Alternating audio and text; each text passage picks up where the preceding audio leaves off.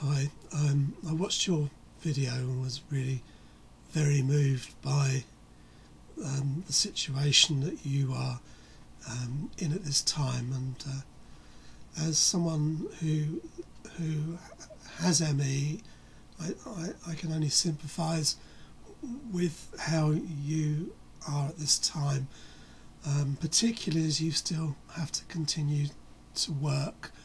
Um, I can't uh, even begin to think how difficult that that must be to have to be so ill and yet continue to hold down a job.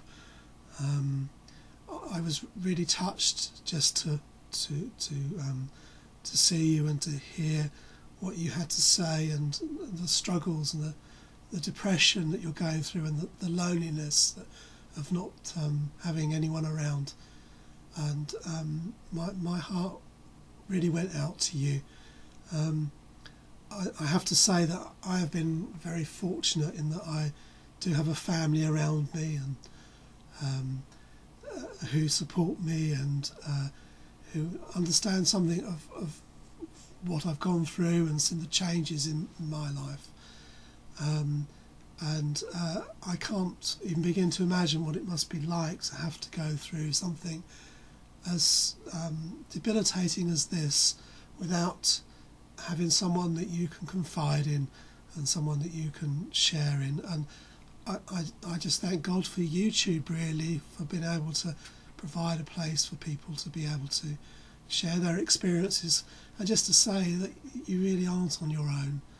Um, this this might not mean anything to you, um, but I do want you to know that I and many others are, um, are praying for your healing. Um, it sounds almost strange for me to say such a thing as I've been praying for my own healing now for the past 15 months, but haven't yet received it.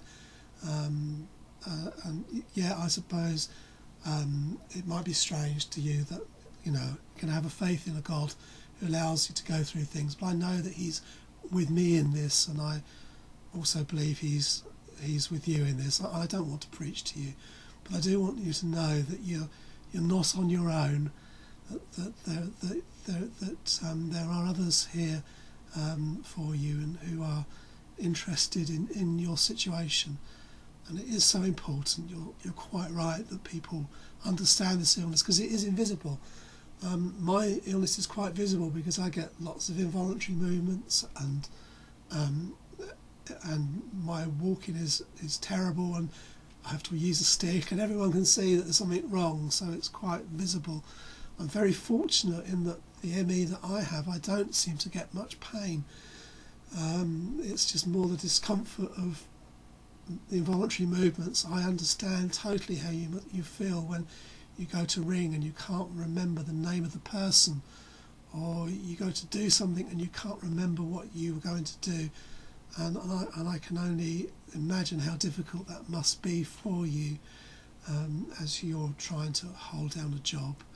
Um, I just want you to know that, that once again that there are many that have watched your video who care deeply about your situation, even though we can't be there for you. Um, please know that you really are in our prayers and in our thoughts and thank you for being so brave in making this video.